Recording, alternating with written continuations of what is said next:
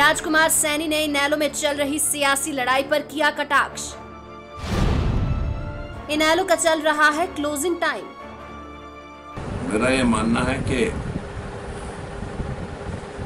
जो भेदभाव कहीं परिवारों ने किया तो उसका अंत्येष्टि भी कहीं ना कहीं ज़रूर होती। अब ये उसका क्लोजिंग टाइम चल रहा है इन लोग चौटाला परिवार को बताया औरंगज़ेब का कुनबा। ये तो वही औरंगज़ेब वाला कुनबा है जो लोग अपने परिवार को बर्दाश्त नहीं कर सकते वो बाकी के लोगों को कहाँ बर्दाश्त करें? तो इस विषय से बढ़ते कदम कमिंग जनरेशन के उनसे बर्दाश्त नहीं है। हरियाणा लाइव डॉट ऑनलाइन के लिए कैथल से मनोज मलिक की रिपोर्ट।